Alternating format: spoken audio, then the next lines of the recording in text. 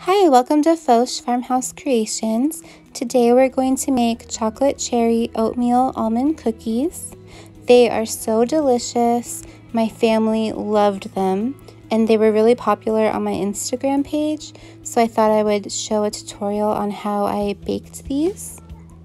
Take your butter and your sugars and add them to your mixing bowl and you're going to want to cream them together till you get a really nice blended consistency. I blended mine on the number two speed.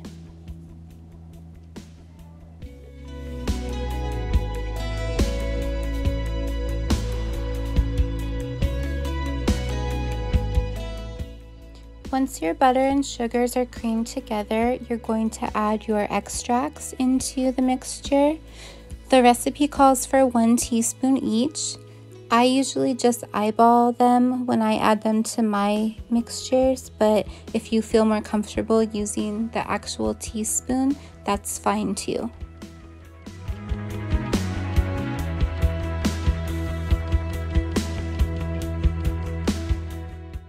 Now for this part, you will want to add your egg to your ingredients. I have to use egg replacer because my son is allergic to eggs. So you take one and a half teaspoons of the Ener-G Egg Replacer and two tablespoons of warm water. And you're just going to give it a little whisk so it has the runny egg consistency. Now, if you're just using a regular egg, go ahead and crack it into the batter right now. But if you have to use an egg replacer like me, you'll want to set it up before you add it into your mixture.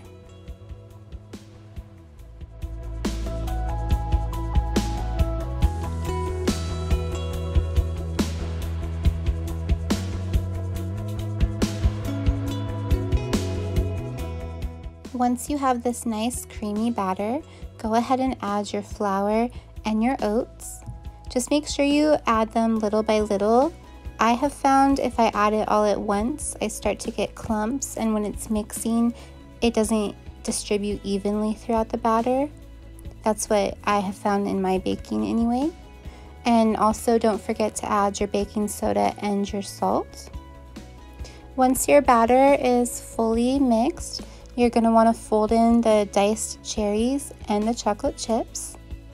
Just add them to the bowl and use your spatula to push them evenly throughout your mixture.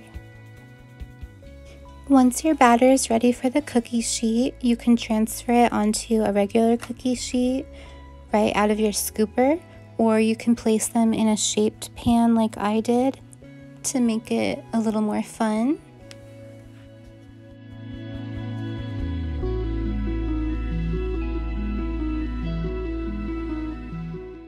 And here are the finished cookies. They are so cute and so delicious and will be a big hit for Valentine's Day.